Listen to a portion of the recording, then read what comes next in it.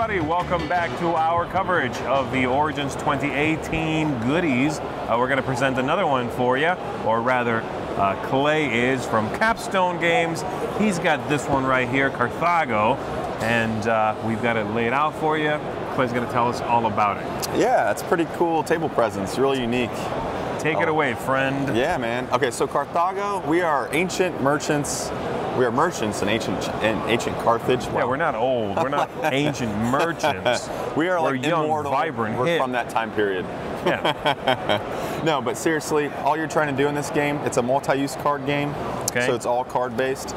Um, your goal is to gain more influence, which are your discs here, Okay. off of your player board, which in turn is going to increase your power in certain re- respects. Got it. So they're covering things up we don't have access to. Right. And as they come off, we'll, we'll get, Get the thing cool underneath. things. Okay. Got Yeah. it. Got it. You want to buy seats in the guild.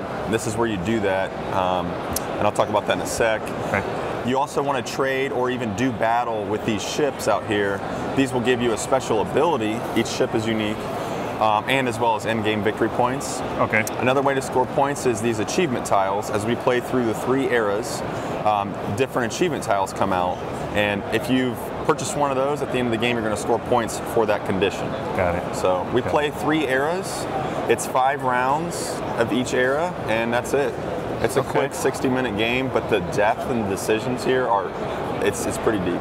It's pretty Nice. pretty awesome. So, Nice. So take me through, say, uh, one typical round, one of those typical turns. Yeah. So like, you have two sets of cards in this game. Your colored cards are all actions. On the top left corner, you're going to see these actions, Okay. Got it. and then you've got trade cards, which are the orange ones. Yeah. Um, they also have an action, but they have a type of good.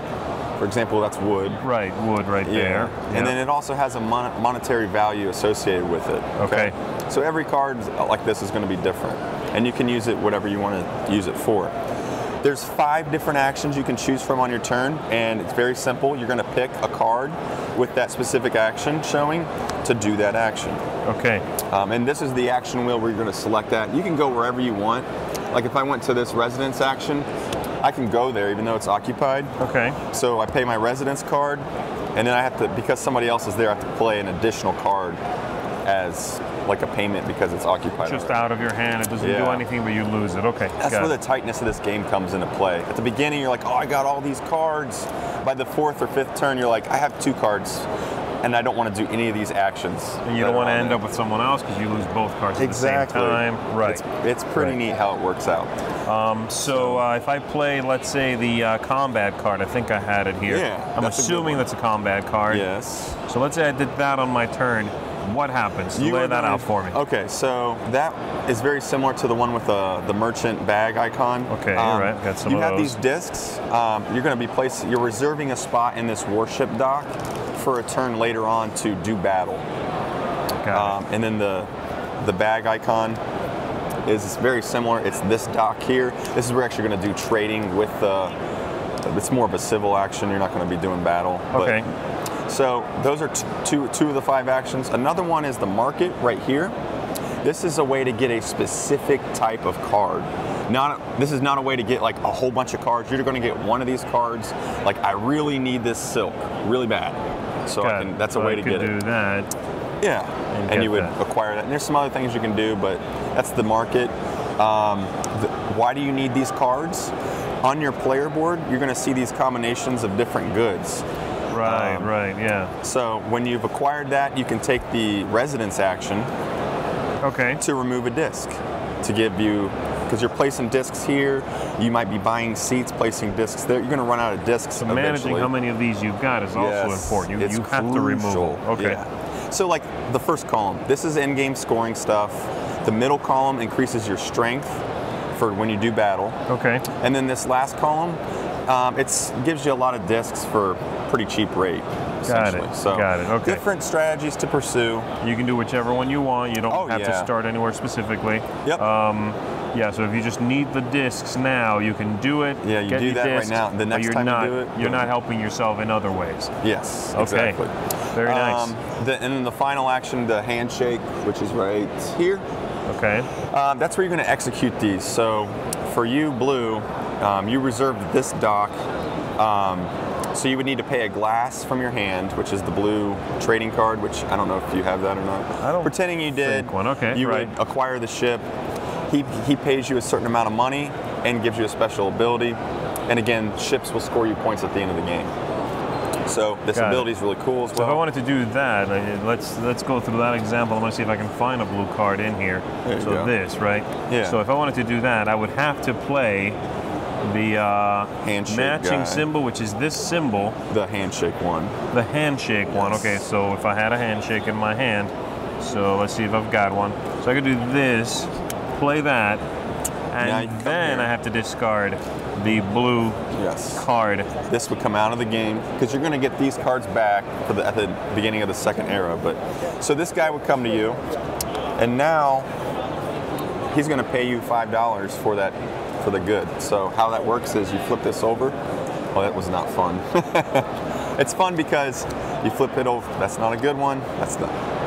Basically, is you draw you until you keep- get to five. Yeah. So if you These are all happen to lock into like a These four and then a Yeah, so like you drew this four, then you flip over the next card and it's a six. You made out like a bandit. Yeah, exactly. Yeah, okay. Five is kind of low. Like an Eight ancient or nine chip. Those are nice. Okay, okay, So- very nice. So multi-use cards, but but Done it well. sounds like quick turns.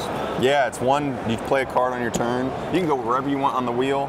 Right. Um, and then you, you do that action. It's what the puzzle in this game is figuring out how this action relates to this action, how this one translates to over. It's just they all intermingle, and it's like a really cool puzzle. You want to do it with. all, you can't do it all. Exactly, Right, yeah. right. Very nice. Yeah. Uh, how many players does this play? This is two to four, uh, and again, 60 minutes. Uh, I feel like I'm forgetting something, but I don't think I am. Oh yeah, one of the other cool things is the achievement tiles. So, end-game scoring is the number of seats you've acquired throughout the game multiplied by the number of ships. Okay. So there's these are physical seats where you're placing your disc You're, out here. You're, you're buying, them. those for that money, I assume. Yeah, there's ways to get like virtual seats so Okay. that number can go up and multiply that by the number of ships you've got. Then it's you're going to add these if you've bought any of these throughout the game. For example, this first one is for every achievement tile that you have a disc on, you get two points. Got it. And another cool one is you get four points for every disc you have in this super expensive $12 section. So if you start building these up, somehow paying $12, that's a lot of money, but you get four points for that. Okay. So So different ways to to figure out how you want to win. Yeah. You can sort of choose which way you want to go. Yeah. Very nice. An hour, up to four players. Uh, when is this going to be available? we just released it for Origins. So I think retail stores should see it in um, early July. Okay, so pretty much right around the corner. You can get your hands on it now.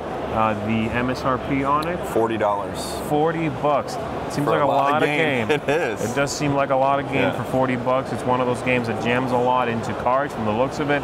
I'm a fan of that myself. Uh, so yeah, this looks neat. thanks, for coming man. by and showing it to us. I appreciate Absolutely, it. Z. It's good talking man. to you Yeah. again. Awesome. And thank you all for checking this out. Stay tuned. We'll keep doing these. Thanks for watching. Bye bye.